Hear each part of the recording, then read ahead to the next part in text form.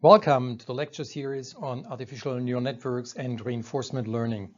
This video series covers policy gradient methods and in this very first video we look at a couple of first steps towards deep reinforcement learning.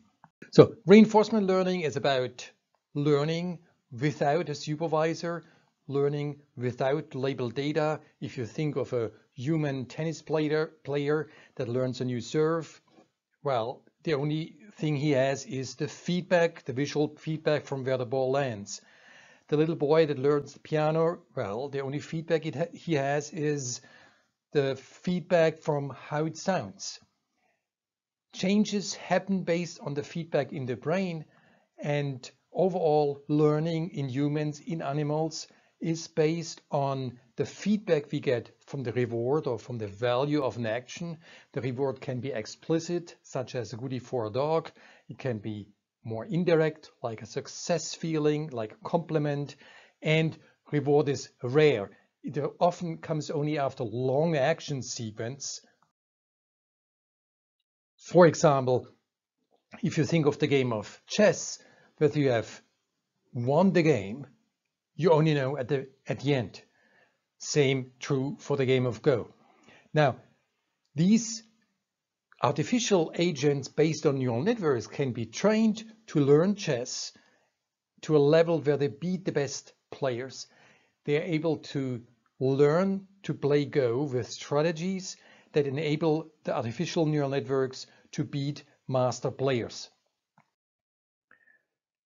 Now, how do you train the network so that it learns the Q values.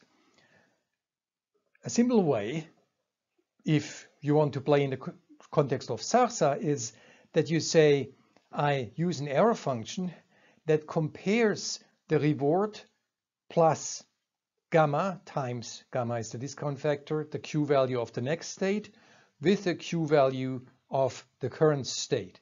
So the state is the set of the inputs the Q values, A prime, are the different actions in the output layer. So this was my little detour to how you apply temporal difference methods such as n-step SARSA, SARSA with eligibility trace, such as Q-learning, such as TD of lambda, again lambda for eligibility trace. How do you apply this for deep neural networks? Whatever you do, the V values or the Q values are the central quantities. You only need to learn the V values or Q values.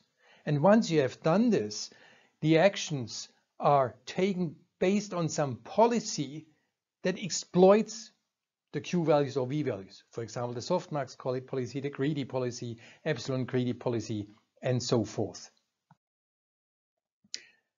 Now, the aim of this lecture is why should we learn first Q values and then derive actions from these? Well, let's try to learn the actions directly. And then there is no need for estimations of Q values. And this is the idea of policy gradient. So the lecture today will focus on policy gradient methods that don't need a Q value estimation. And as outlook towards the end of the lecture, we will also give a first glimpse into deep reinforcement learning.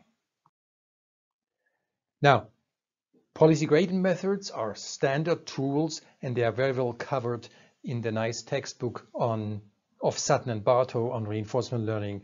The relevant chapter would be chapter 13.